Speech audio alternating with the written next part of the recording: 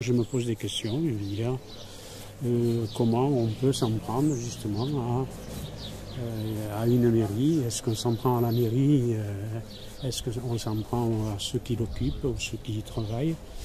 Je ne sais pas, je ne sais pas. Donc c'est un tas de questions que je me pose et que peut-être il faudra poser euh, désormais à, d'autres niveaux, parce que cet, euh, cet événement ce matin, je pense qu'il a, il a beaucoup de sens.